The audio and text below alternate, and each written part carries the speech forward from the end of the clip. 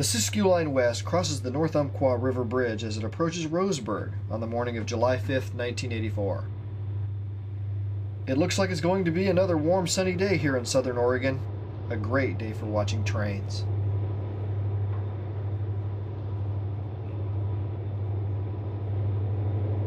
The Siskiyou Line West, train symbol EUMEY, left Eugene a few hours ago. It passes through Roseburg on its way to Medford.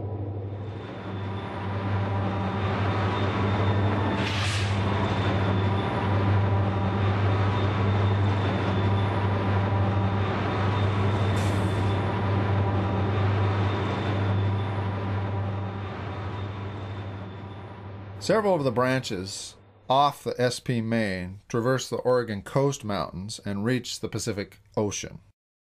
Now, the most prominent of these is the Coos Bay branch.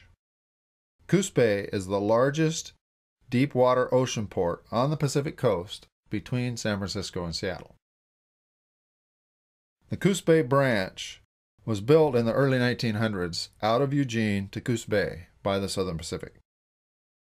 But this branch actually began at Coos Bay as the Coos Bay, Roseburg, and Eastern in the 1890s, and it was originally planned to run from Coos Bay to Roseburg. So, in my version of the Siskiyou line, I assume that's just what happened. So, I'm engaging in some proto freelancing. It works especially well to add operating interest since Roseburg is a focal point on my layout. This is the North Umpqua Bridge at Winchester, and it's just railroad east of Roseburg, and it marks the yard limits on the model for the Roseburg yard.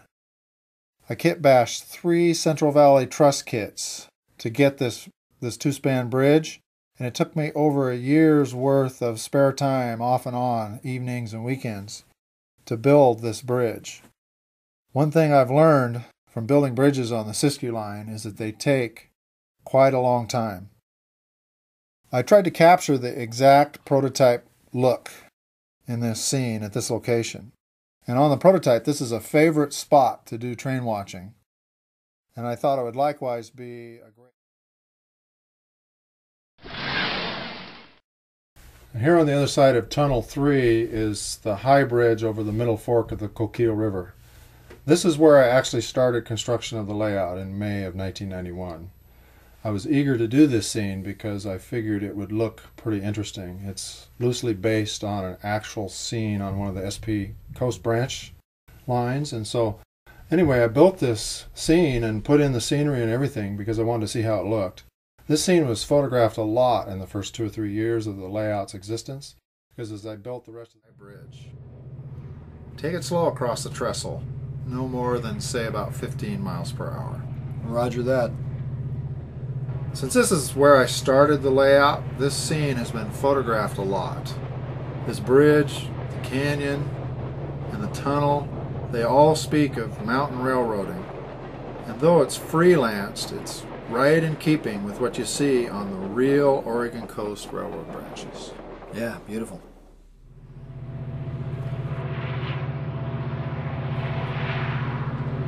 Tunnel number three punches through Sugarloaf Mountain. That's named after a real mountain east of Myrtle Point. Highway 42 and King Creek run under this steel truss right here, and it's hard to believe, looking at this scene, that it's only nine inches deep over the tunnel. So how's she doing up that two and a half percent grade? Okay, let's uh, put some super glue on it.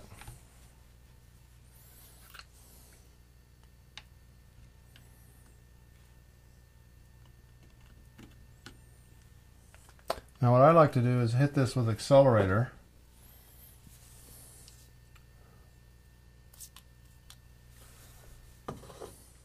Accelerator is actually kind of a light, like a light oil, so it'll actually make the mechanism